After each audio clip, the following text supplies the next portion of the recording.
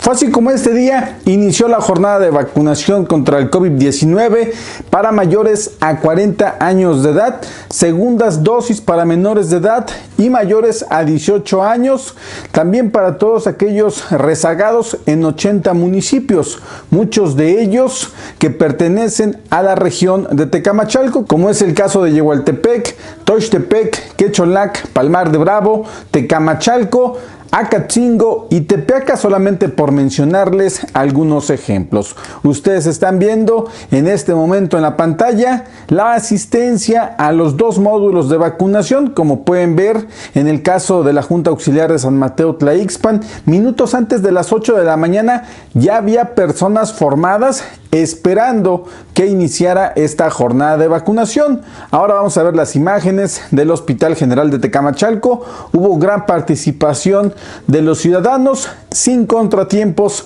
en el primer día de vacunación. Es así como iniciamos esta cápsula informativa con las noticias más importantes de la región de Tecamachalco de este martes, primero de febrero del 2022.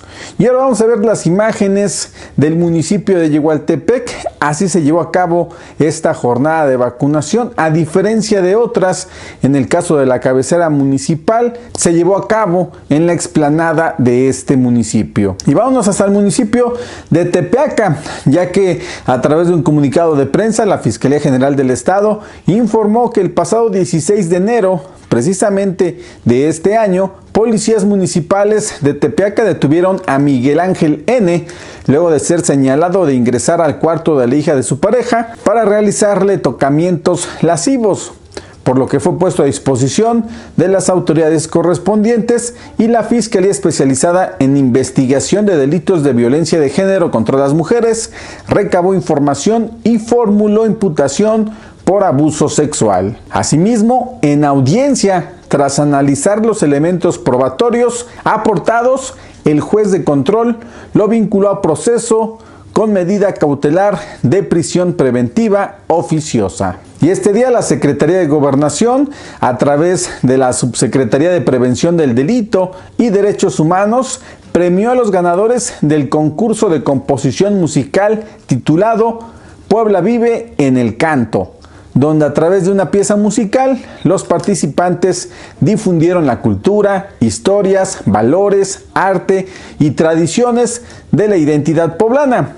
con el objetivo de fomentar la participación y el fortalecimiento social. El ganador del primer lugar fue Arturo Morales Gutiérrez, originario del municipio de Tepeaca, con la canción Puebla Bella, Puebla Linda. Mientras que el segundo lugar lo obtuvo Ubaldo Sandoval Sandoval del municipio de Palmar de Bravo con la canción titulada Paso a Pasito.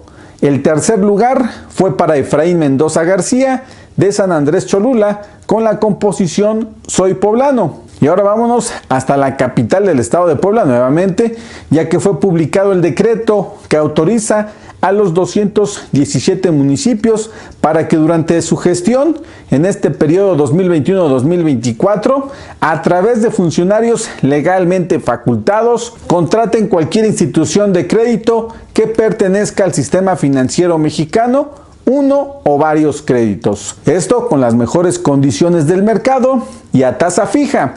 En el caso del municipio de Tecamachalco, el morenista Ignacio Mier Bañuelos podría solicitar la cantidad de hasta 22 millones 901 mil 26 pesos y ustedes están viendo en este momento en la pantalla otros municipios de la región de Tecamachalco.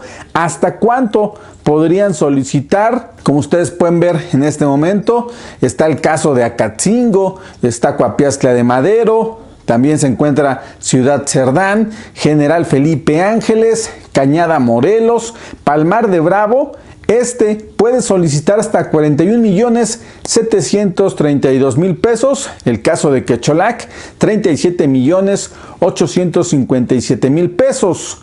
Son los municipios que tienen alto margen para hacer solicitudes para estos financiamientos que es importante señalar los deberán cubrir antes de que finalicen sus administraciones.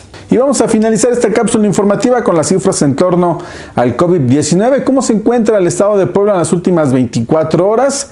Hasta el momento se han realizado 226.527 pruebas, de las cuales 465 resultaron positivas en las últimas 24 horas.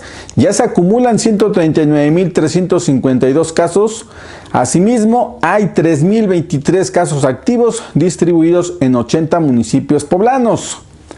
Vamos a ver la hospitalización. La cifra es de 267 pacientes, 30 intubados. Desafortunadamente en las últimas 24 horas se registraron cuatro defunciones para llegar a la cifra de 16.574 víctimas de esta pandemia.